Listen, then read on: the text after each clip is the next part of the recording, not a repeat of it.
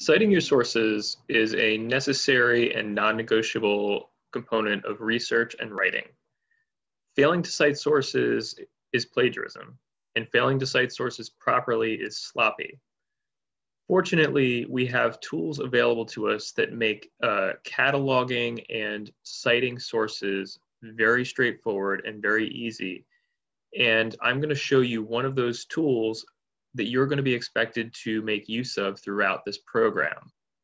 In the next assignment, you'll be downloading and setting up one of these tools, and then you'll be using this tool for later assignments in this course, and you're expected to make use of it to properly cite your sources throughout the rest of the MPA program and any future writing that you do as a scholar. The tool that I'm going to show you today is called Zotero, and this is the one that I prefer. There are others out there, but this is the one that I use, um, and I actually pay a subscription fee for this one because I have I use it so extensively. So I already have it downloaded and set up on my computer. You'll need to do this for yourself. Um, but you can see here, I've got a library over here, and I can break it down into different parts. Um, but I, I'm going to stick in my, my main library here. And you can see that there are, you know, hundreds of sources here. Um, and I can click on them. This one is a book. It's got them broken down by type. So this is a book. Um, I have the authors, uh, publisher. All of the citation information um, is present here.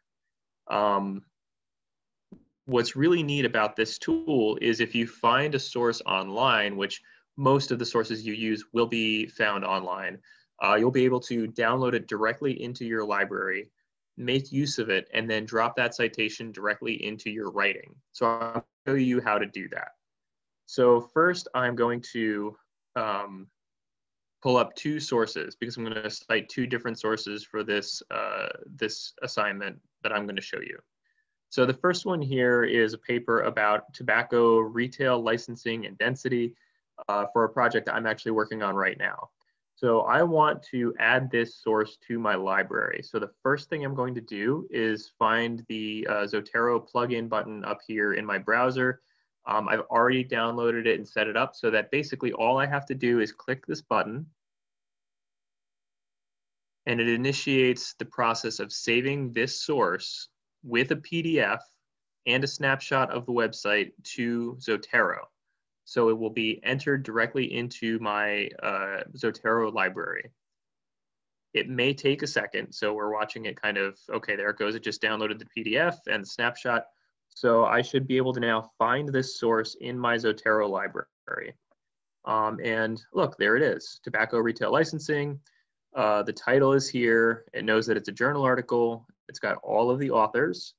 It's downloaded the abstract, all of the good information that needs to go into a, uh, a citation or a references section in your own paper. Um, that's great. So I'm also going to download this other, this is a New York Times article. Um, you know, sometimes you'll use uh, academic journals, sometimes you'll use uh, popular media, uh, journalism, um, things like that. So this is a, a journalistic article about uh, mentholated cigarettes for that same paper that I'm working on. And you can see the Zotero button up here has changed um, because it recognizes that we're on a news site page. So I'm gonna go ahead and click this and it's gonna do the same thing. It's going to uh, basically create an entry into Zotero uh, for this citation. Okay, and it looks like it should be finished. So I'm gonna pull up Zotero and look, there it is. Um, I should say, it doesn't always work perfectly. And so, uh, you know, you may need to kind of edit things here. So all of these things, it may download something wrong. It may get an author's name wrong. Um, you know, it may, it may not do what you need it to do. So you can actually um, go ahead and change some of these things. Or if it got it, didn't quite get it right, um, you know, you can add uh, uh, information, you can change information, you can edit it you should check this stuff out every time you download a source because sometimes something goes wrong and you will be responsible for the information in your citations. Okay, so I've got it. I've downloaded these two sources um, and I've added them to my library. Now I want to cite them in my paper. So um, for your assignment this week, I'm going to be asking you just to um, just give me a short paper with a couple of citations in it or one or two citations, um, and then uh, create a uh, references section based on those citations. So this is just a brief bit of information that comes from that New York Times article. So I, I see I've written something here and now I need to cite this. You know, this is information that if I didn't cite this, it would be plagiarism. So I'm going to go ahead and cite this uh, using an in-text citation. All right, so in-text citations go at the end of the information that you're trying to cite. Um, and in my uh, Word document here, um, I already have the Zotero plugin added, so you can see it up here in the toolbar. And I'm going to click Add Edit Citation. And I'm going to get uh, this box that pops up that says, okay, what kind of citation style do you want to use? Um, and I'm going to use the um, uh, APA, where is it? APA 7th edition. Okay, yes, automatically update, update citations. That all looks good. So for this document, I've chosen to use APA. And now it's given me a little box where I can search for uh, the source that I want to uh, cite here. And I know that, let's see, this article is written by Sheila Kaplan. So I'm going to pull up the, the field here. Um, just gonna keep the Word document open to show you. So in this box, I'm gonna search Kaplan. And there it is. Okay, it knows that that's the article, so I just click it. Kaplan 2021 and enter. And look, it just dropped the in-text citation right into my document.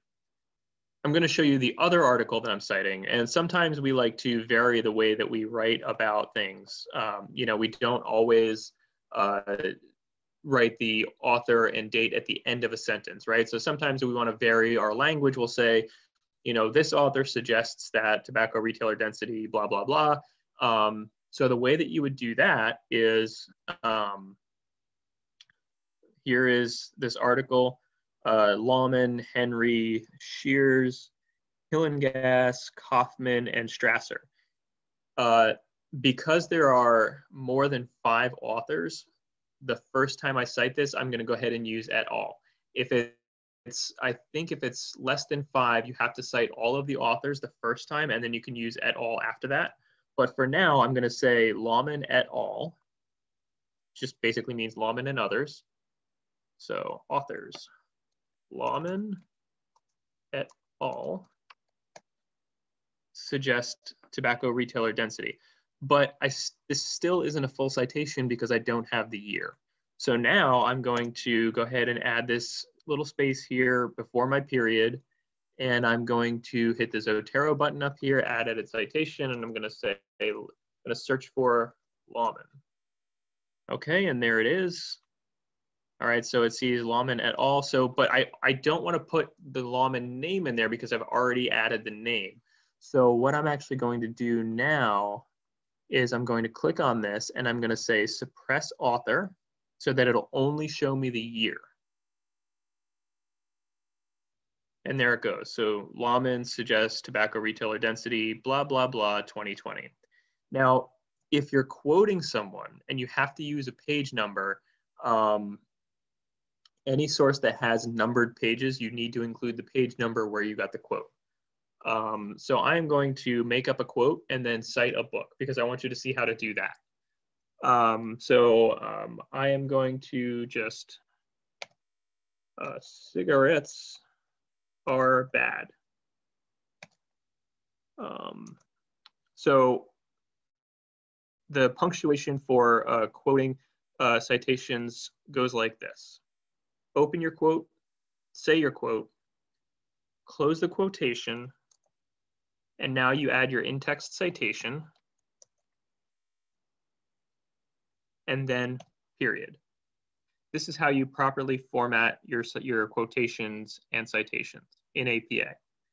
All right, so I need to put an author here. So I'm gonna go into Zotero and I am going to choose a book. And I'm gonna choose this one here um, Hoffecker, so Carol Hoffecker's book. Um, she doesn't actually say this, so I'm just making up a, a fake quote uh, by Hoffecker. Please don't do that in real life. That's not that's not okay. Um, but now I am citing Hoffecker, add edit citation, and I'm going to look for her. So I've searched, I found Hoffecker, 1974, and now I need to add page numbers. So it's pulled up Hoffecker, and I can just type page P, right, uh, for page, and I'm going to say that happened on page 75, making this up. Um, but now you can see this is what's going to go inside of that those quotations, or those those that in-text citation there.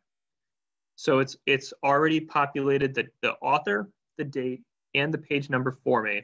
And now my quotation is properly cited. Okay, so now I'm done writing my paper and I'm going to add a references section. So the first thing I'm going to do, because a references section always starts on a new page, is I'm going to insert I'm going to insert a page break. So now that just tells, tells Word that we're starting on a new page. Okay, uh, now I'm going to go to Zotero over here, and I'm going to add or edit a bibliography. And look, there it goes. It's used the, it's found the in-text citations that I've used, and it has properly cited every one of them in alphabetical order in my references section. All of the information that's required is here and it's formatted correctly using APA 7th edition. So properly citing sources using APA style uh, is one of the things that I think students struggle with the most, but it's one of the most important things you can do in your writing is, is citing your sources and doing it properly. And this tool makes it really straightforward and really easy to do that. It takes a little bit of extra work to set it up at the beginning, but once you have it set up, you own it, it's yours um, and you can use it through the rest of your academic career.